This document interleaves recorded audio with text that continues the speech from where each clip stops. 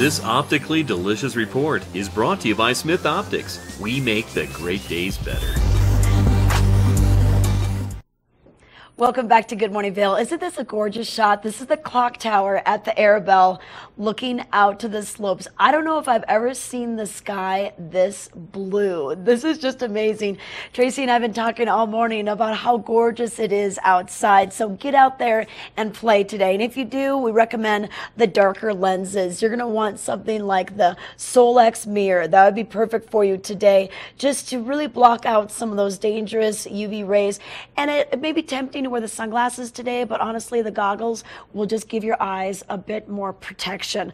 Also, the helmets. A lot of people think, well, I don't want to wear a helmet today because it's going to be hot. Well, in all the helmets, the Smith, you can take out the ear flaps and you can easily control your heat, control your comfort by doing that. Just stick these in your pocket or just leave them at home before you even go and you'll be good to go. They just snap right out. So there's your option for you. Don't forego the helmet just because you're going to be too hot. They have plenty of venting and uh, different solutions for you. But let's take it over to Tracy Miller right now. She's going to let us know just how warm it's going to get today in the valley.